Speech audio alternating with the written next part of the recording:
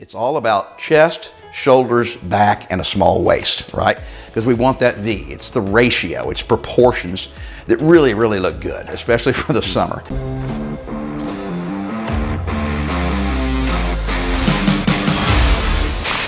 Hey guys, I'm Mark McIlyar with Live Anabolic, and today I'm gonna give you six exercises to start working on your body and get it ready for the summer.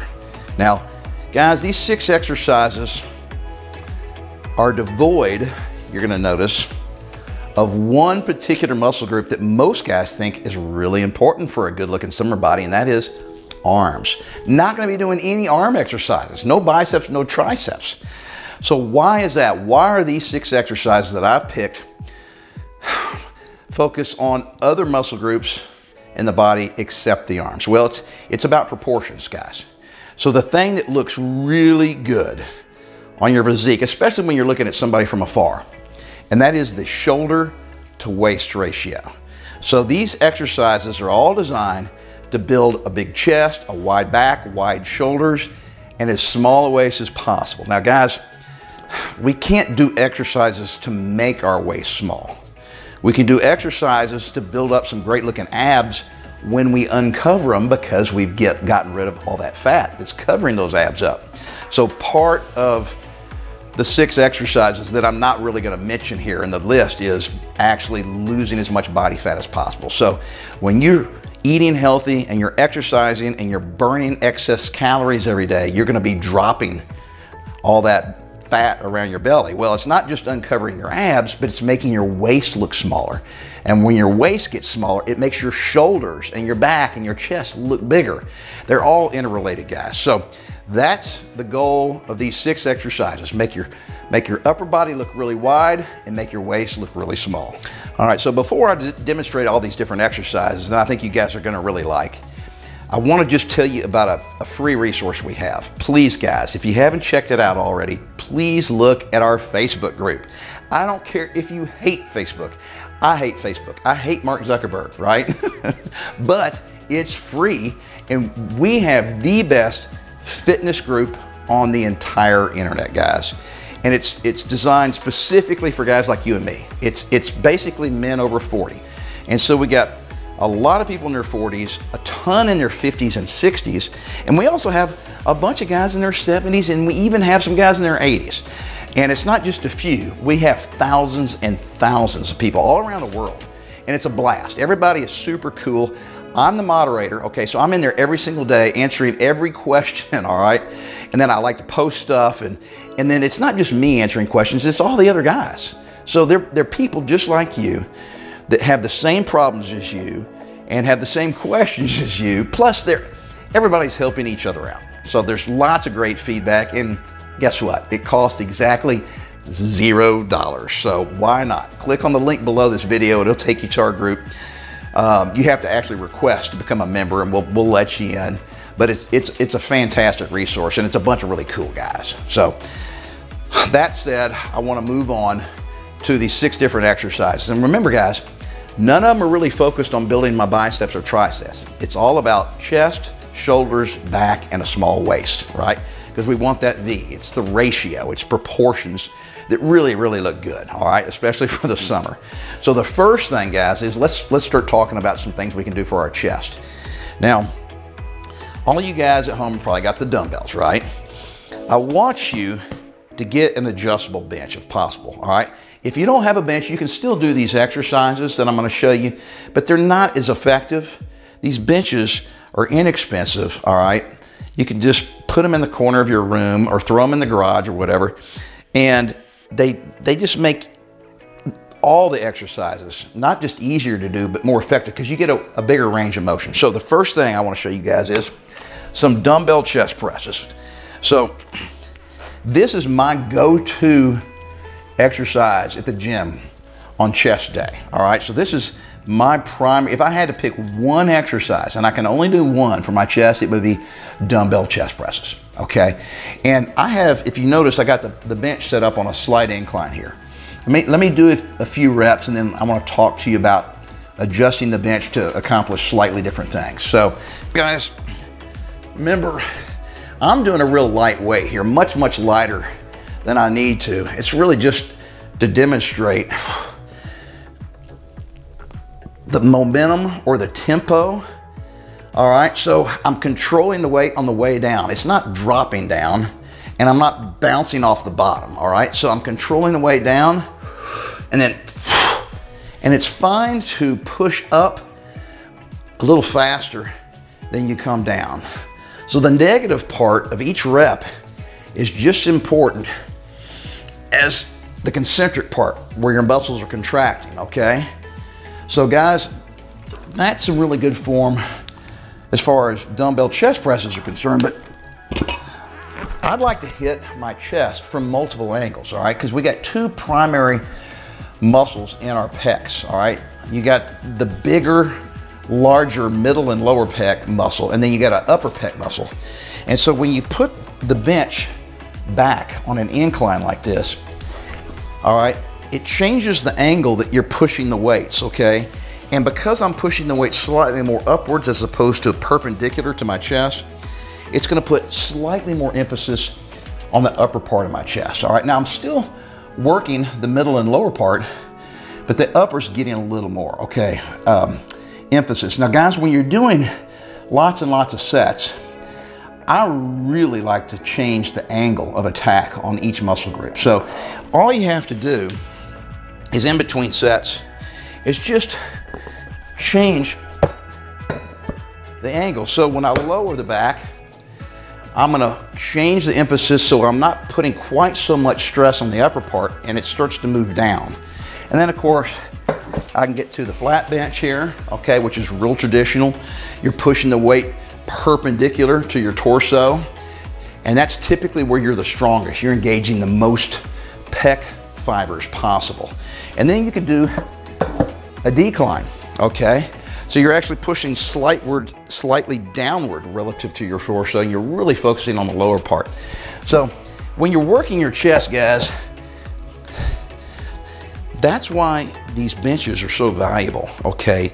That's much harder to do when you're on the ground or using some cushions off your couch. You can kind of simulate, you know, these different angles, but still having an adjustable bench is way better and you're gonna get more range of motion because I can get my elbows back behind my back because this bench back here is preventing the floor from limiting my range of motion. So no dumbbells, all right?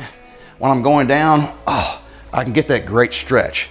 If I was on the floor, my elbows would hit the floor at about right here. So I get another, you know, three or four or five inches of range of motion. And range of motion is what really helps build big muscles. All right, so exercise number two is gonna focus on our shoulders. Now remember I was talking about that V. We wanna build a nice wide upper body and as small a waist as possible. The small waist is the most difficult part because that entails losing a bunch of fat if you have that problem. Now, building wide shoulders, all right, if I, and I'm just gonna give you one shoulder exercise here. If I had to pick, my favorite is a dumbbell lateral raise. Now, our shoulders are comprised of three main muscle groups. You know, we got this front muscle here, the lateral, and then we have a rear head to our delt muscles. Now, when I'm doing these lateral raises, guys, you can't use much weight, okay? And it's all about form and not using momentum. So you don't wanna sway, but I'm just gonna basically focus on lifting my elbows, okay? And then the dumbbells are just gonna kind of come along for the ride. So I don't want the dumbbells up higher than my elbows. I wanna kind of get my elbows up high and then the dumbbells are gonna come along for the ride. And you don't need to go real high, guys. You don't need to go up here. So as you're lifting these dumbbells, you can stop at shoulder height and then let it back down. Now remember guys, I don't wanna see this. I'm just using momentum, okay, to raise and lower. So I'm lifting the weight and then I'm lowering the weight. So when you're doing it correctly, you're gonna feel tension in those shoulder muscles throughout the full range of motion. And then I love this exercise because like I said, if you're doing it correctly and get that mind muscle connection going, you get a fantastic burn. And that burn is lactic acid buildup. And of course that triggers our body to start producing more testosterone. So fantastic exercise. It's also a good shoulder exercise for a lot of you guys that might have shoulder problems and you can't lift your hands above your head. A lot of you guys will be able to do this, all right? You may not be able to go all the way up here, but even if you're doing real good, slow, controlled form, and you're keeping your elbows a little bit lower, you could still get a fantastic burn and great shoulders. All right, so we've done an exercise for a chest. We did an exercise for a shoulder. Now let's work on our back, all right? So this is a one arm dumbbell row. Now, once again, I'm gonna be using the bench. I love benches for all these kind of things. I'm gonna brace my upper body, okay, this way. That way, I'm not having to support a bunch of weight with my lower back. Remember, we're trying to build a, a big, strong upper back, okay? And the lower back can get injured really easily if you're trying to do too much weight and you're not using very good form. But when you're supporting your upper body with your off arm, I'm gonna be doing left-handed rows, that means I really don't have to worry about my lower back having a lot of weight or stress on it. So I can use really heavy dumbbells. Now, I'm going much lighter than I, than I really would at the gym, but that's just to demonstrate for you guys. And basically, I'm supporting my upper body with my right arm here and my right leg, and I'm just trying to use really good form, and I'm just pulling the dumbbell up and back towards my hip, guys. You're not bringing it up this way, all right? You want your elbow to come backwards and the dumbbell to stay close to your body and close to your hip. And this is another exercise I see guys cheating on at the gym all the time. They use way too much weight and they they're they're yanking it. All right, with no sense in yanking it, you're just using momentum. So really focus on squeezing your lats and pulling. All right, And I'm not yanking it up. I'm slowly contracting and bringing that dumbbell up and I'm controlling the weight back down. So control up and then down. And if you don't have enough weight at home, all right, because these are big, strong muscles, this is how you make this a lighter weight feel heavier.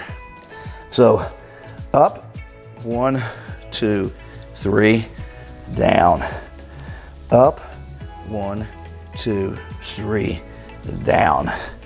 So I can take a relatively light weight and because I'm holding it at the top of the movement and my muscles are fully contracted, I'm really increasing the time under tension and I'm creating a fantastic burn.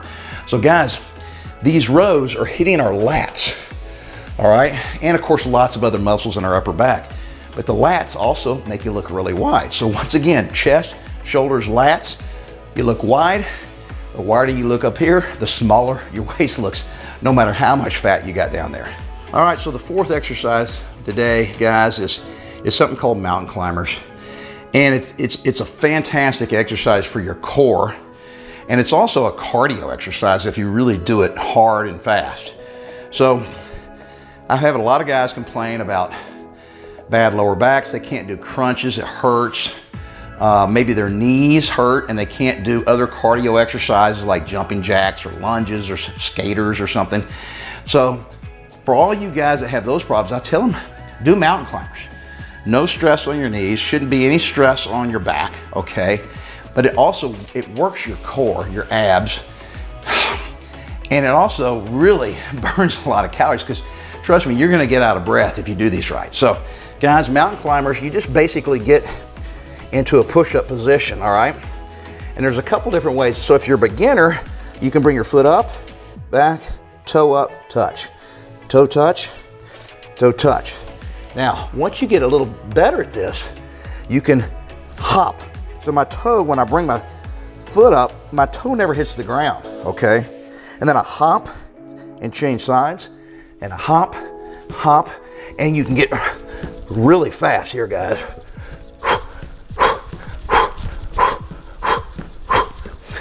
So when I'm doing mountain climbers, guys, I'm engaging all the muscles in my core. And see how hard I'm breathing? I only did that for about 10 or 15 seconds. You're gonna get a really good cardio workout at the same time. And of course, what does that do? Helps to burn that fat, makes our waist look smaller. We got less fat down there. Plus, when that fat does start to disappear, you'll have more defined abs that'll look really cool in a bathing suit. All right, so the fifth exercise today is something just called dumbbell shrugs. It's real straightforward exercise, guys. And it's another exercise where you can actually lift a lot of weight. So a lot of you guys probably won't have heavy enough dumbbells at home. If you're at the gym, you got all kinds of stuff. You can go up to 120, 130 pounds, but at home, most of you guys are gonna max out at around probably 50 pounds, all right? That's as heavy as my dumbbell set goes. So let me show you how to do them. And then shrugs are gonna be targeting these trap muscles up here, which are part of our upper back, right? So remember, a big upper back makes you look wide. It also, at the same time, makes your waist look smaller.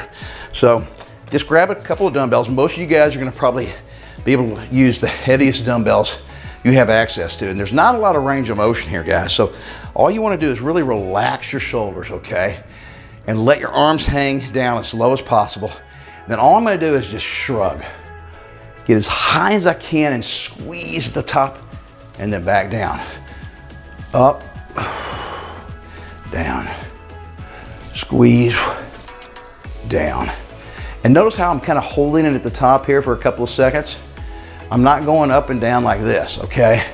So you really gotta focus on contracting all those little muscles up there in your upper back as much as possible. Let me turn around and see if you can see a little better here. So it's, I'm just kind of letting my shoulders roll forward just a little bit and dangle and then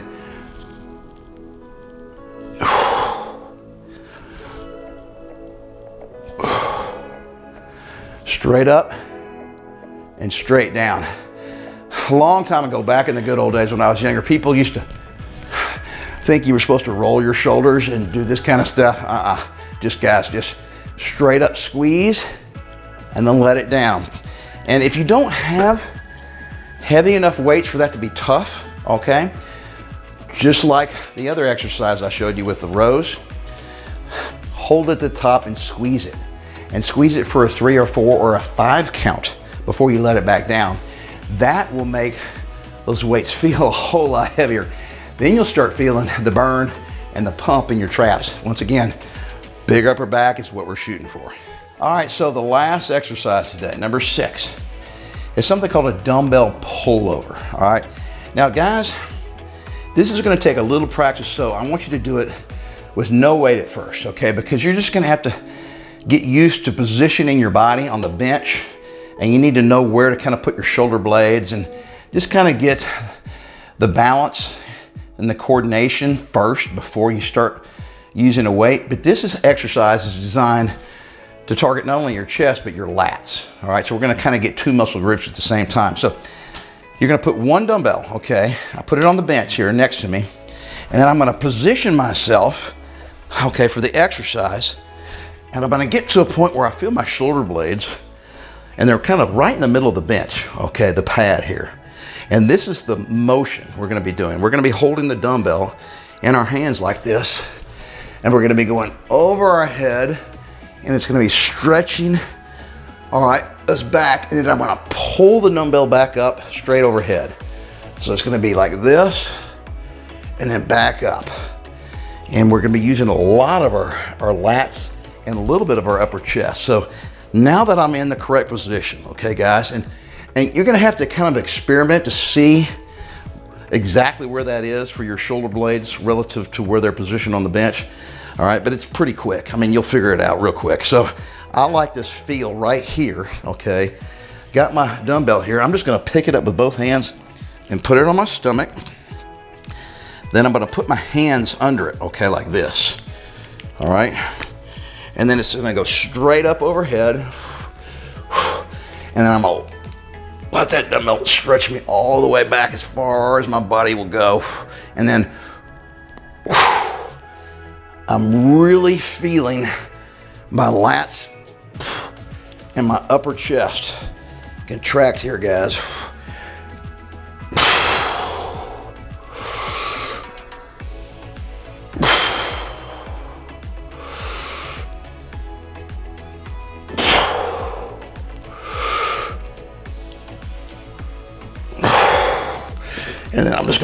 Put it back over here. And then, oh boy, wiggle way, my way back up to sitting on the bench and talking to you guys. So guys, six real straightforward exercises Nothing but dumbbells are required. All of them are designed to make you look big up high and small down around your waist. But the biggest trick for the small waist guys is nutrition. You have to eat in a caloric deficit day in and day out if you're really trying to lose a bunch of belly fat. That is the key. And then guys, remember, man, it's summertime coming up. It's time to get in shape. You can do this and you can eat properly. It is not that hard. You control what goes in your mouth every single minute of the day. You can do it, trust me. And the best way to do it is to stick with it and never give up on yourself.